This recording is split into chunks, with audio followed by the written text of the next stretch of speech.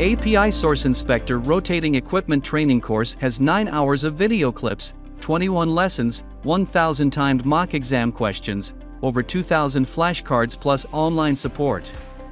API Source Inspector Rotating Equipment Training Course covers Guide for Source Inspection and Quality Surveillance of Rotating Equipment.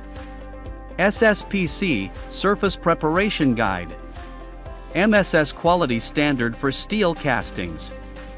ASTM A703 Standard Specifications for Steel Castings. ASME Section 2 Materials, Parts A, B, C, D. ASME Section 5 Non Destructive Examination. ASNT NDT Personnel Qualification and Certification. ASME Section 8 Construction Code for Pressure Vessels. ASME Section 9 Welding and Brazing Qualifications. API 578 Material Verification Program PMI. API Standard 610 Centrifugal Pumps. API Standard 611 General Purpose Steam Turbine.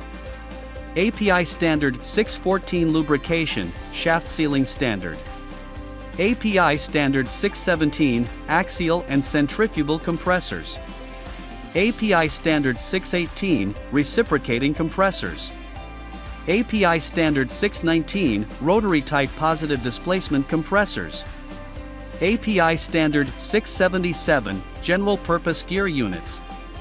API Standard 692 Dry Gas Sealing Systems.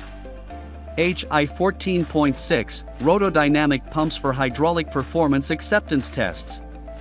You shall receive a certificate of completion worth 40 CPD credit hours that you may need for API recertification, applying for a membership to professional body, or simply enhancing your CV. Study our first and second lessons for free. Try our free quiz.